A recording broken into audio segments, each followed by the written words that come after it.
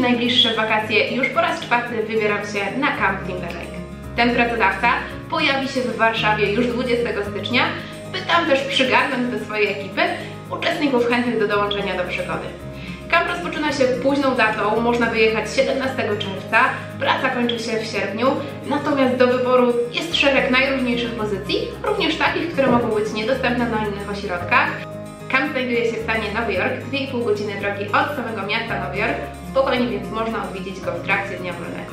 Na tę okoliczność Kamp przygotował również mnóstwo atrakcji dla swoich uczestników, podwozi do większej miejscowości, skąd wychodzą busy do najróżniejszych innych miast, takich jak na przykład Boston. Można skoczyć sobie również nad Niagarę, a pomagamy w koordynacji czasu wolnego. Organizowanych jest mnóstwo wydarzeń, w których śmiało możecie brać udział. Również cała infrastruktura ośrodka jest do Waszej dyspozycji. Park linowy, ścianka wspinaczkowa, cała przestrzeń do pływania, dwa jeziora, w tym jedno podgrzewane, basen, siłownia. Nie można się nudzić.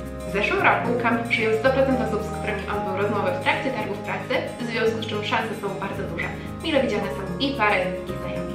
Do wyboru szereg różnych pozycji. Housekeeping, przeprowadzony z pralnią, dining hall assistant, czyli kelnerowanie, food steward, a więc osoba zamawiająca um, i troszcząca się o wszelkie dostawy, to także praca w maintenance, a więc bycie złotą rączką, um, pozycje związane z pracą w biurze, z pracą przy przygotowywaniu posiłków.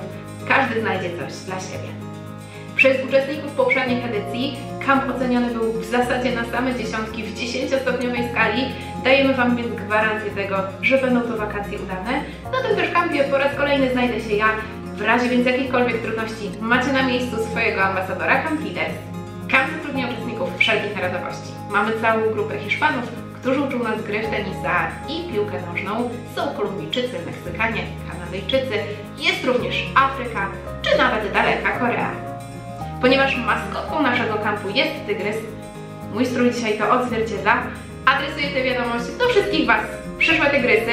Jeżeli chcecie dołączyć do najlepszej ekipy i spędzić te wakacje w stuprocentowo gwarantowanej, wspaniałej atmosferze, zachęcam do uczestnictwa w targach pracy 20 stycznia Warszawa Hotel Nowotel.